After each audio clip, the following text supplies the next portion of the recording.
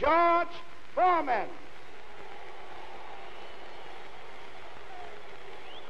Boone Kirkman. Main event, round the black one. trucks. Round number one. That was a push. That was not a. George Foreman has fought in the Garden.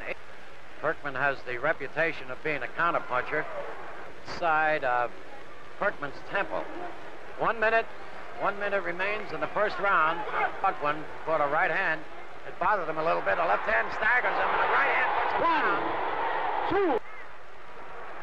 Less than 30 seconds. Kirkman has been down, not a knockdown. As the bell, the end of the. George Foreman in the red trunks, spoon Curtains of the knockdown. He went down.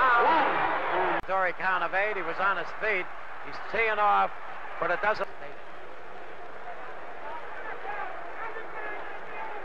Kirkman could do almost anything. He, he can't do anything at all, and it's Foreman just pounding him into the canvas.